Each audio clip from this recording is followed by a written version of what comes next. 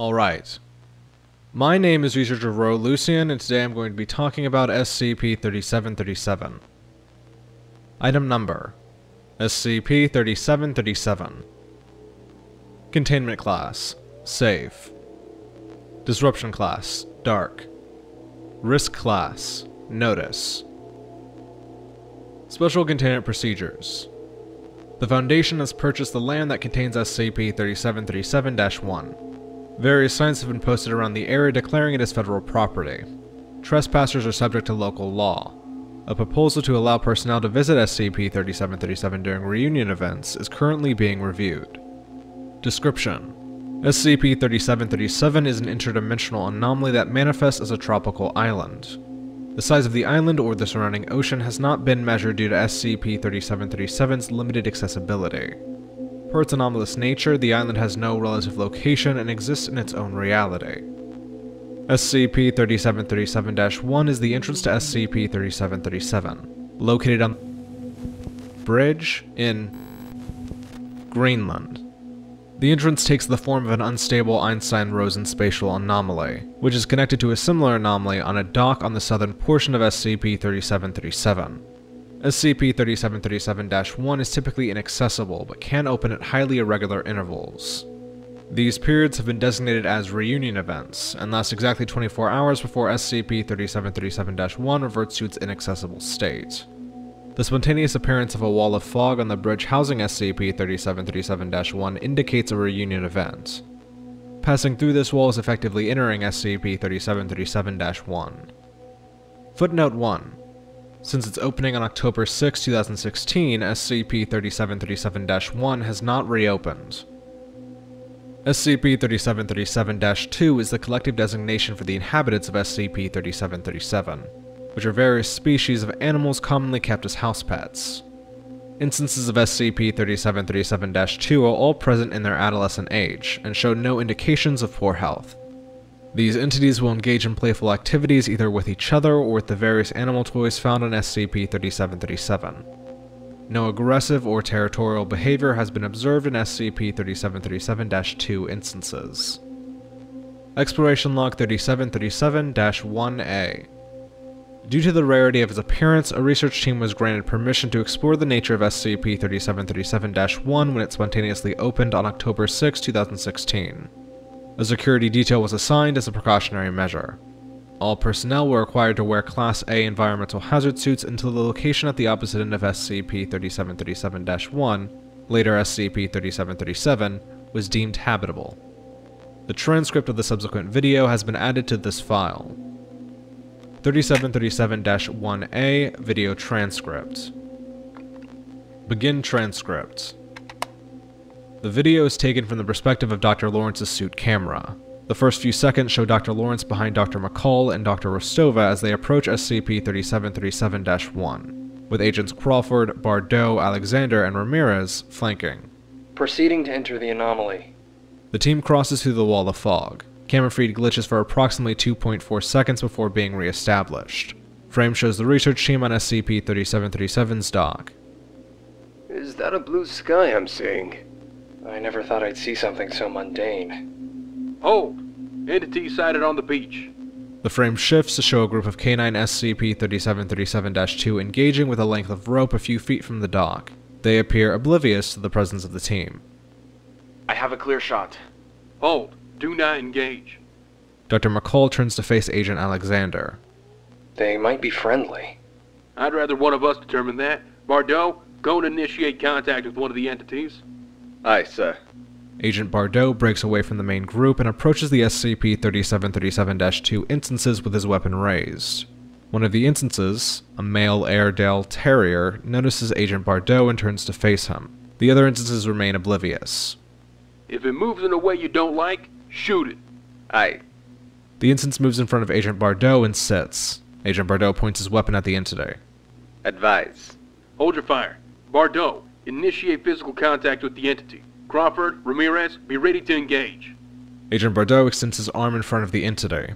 It slowly approaches and places its head under Agent Bardot's hand. Bardot proceeds to rub the instance's head, which causes it to pant. That doesn't look very murderous to me. You should know as well as anyone that anything has the capability to be. Oh, Catherine, is this really the time? What, Vernon? Am I not allowed to be cautious? Being cautious and being extremely presumptuous are two separate things. I'm not being presumptuous. I'm taking my job seriously. Would you two be quiet? I think you're scaring them. Several of the instances have distanced themselves from the team. Did they bring the whole zoo here or something? Hang on. This dog has a collar. Agent Bardot investigates the collar on the SCP-3737 2 instance. His name is Felix. It has a name. They all have collars. Who do these things belong to? I don't think that's important right now. We should continue moving. Several hours pass. The team explores several areas within SCP-3737. The island is revealed to contain several different territories, including forests and prairies, along with instances of SCP-3737-2. Has anyone noticed the sun hasn't moved since we got here? Perhaps it is an anomalous property of the island. Who knows? An instance of SCP-3737-2, a female boxer, appears out of a nearby bush and approaches Dr. McCall. Huh. I guess she likes you. It appears she does. Dr. McCall notices the instance's blue collar. He pauses for a moment. Is everything alright, Ludwig? Yes, yes. Everything is fine. That instance just reminds me of an old friend, is all. I could check the name tag. It is extremely implausible that that friend is her. No harm in trying then, Doctor. Permission to approach the entity? Granted. Be cautious. Agent Bardot crouches in front of the instance and inspects its name tag. Her name is Gypsy. That was her name. So, I'm I'm sure a lot of dogs are named Gypsy. What makes you think that this one is her? Gypsy also had a blue collar. I remember you talking about Gypsy. I thought she died. She did. We, uh, we had to put her down when I was 16. Then what is she doing here?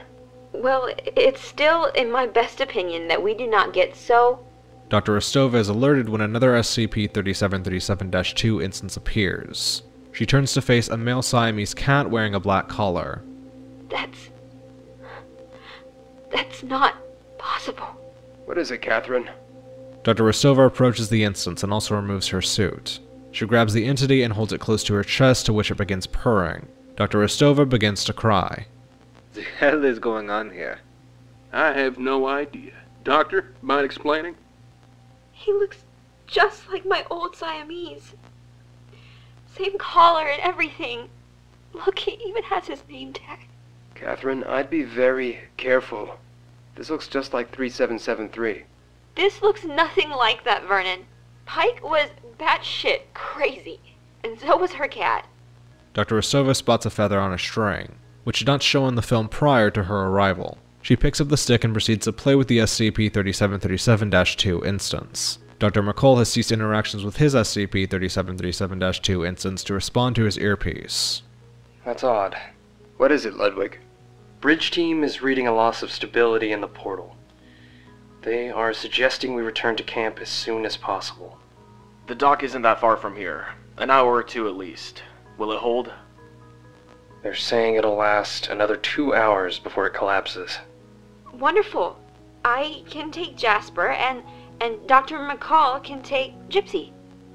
Catherine, you know how strict we are about dimensional entities. I don't think I need to remind you what happens if we bring them back.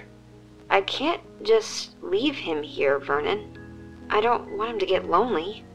We've seen plenty of other instances that seem very happy to provide company. We need to go, Catherine. He was my best friend when I was a kid. I haven't seen him in years, and you you expect me to just leave him? Just like that? Dr. Rostova, it isn't safe for you here if you stay much longer. It's my cat. If I want to bring him, I can. I take full responsibility. I I don't see why you aren't happier to see your dog, Ludwig. Of course, I'm happy to see her, Catherine. She she was my best friend growing up as well. I would love having someone like her back, but she might not even exist. Even if she does, I, I don't want her going through the Foundation. That wouldn't be right. Fine. If you don't want to bring her back, that's fine. I'm still taking Jasper. I think you should listen to Dr. Lawrence. I cannot permit you to bring something of that nature back with us. I don't care about the regulations. It's a cat, Alexander. It isn't going to kill you. We don't know that yet, Doctor.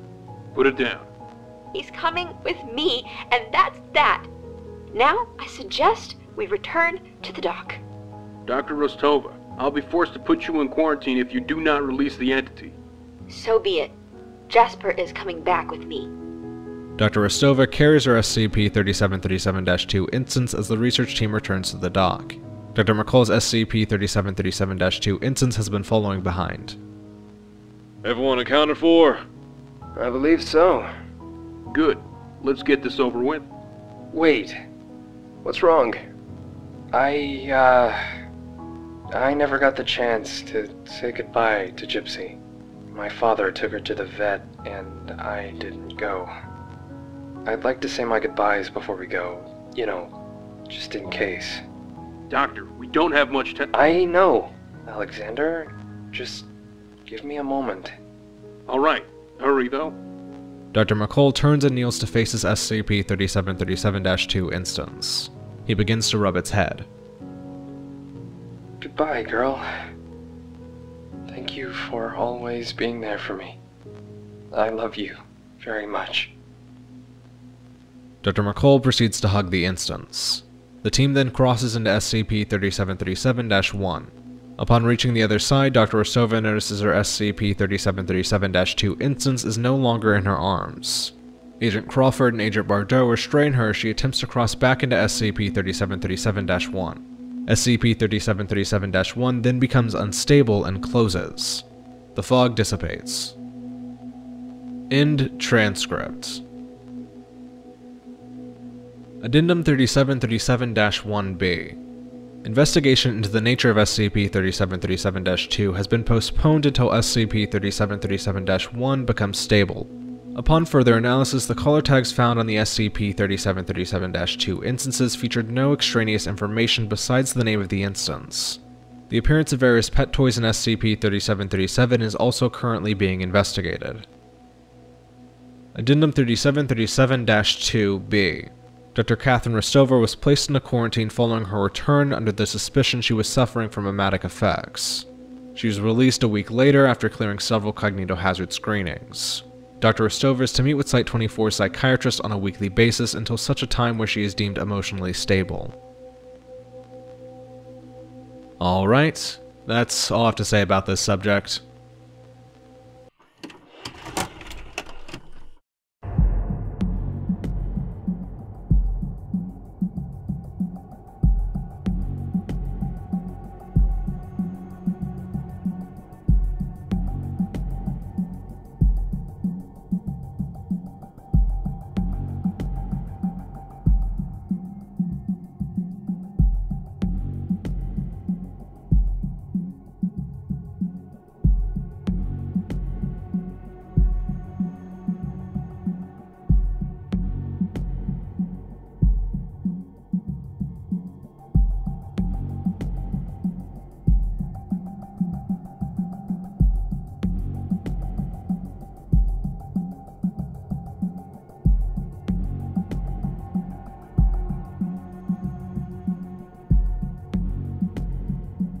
You all for watching, and a special thanks to all my patrons, especially my tier 4 patron Serene Tan.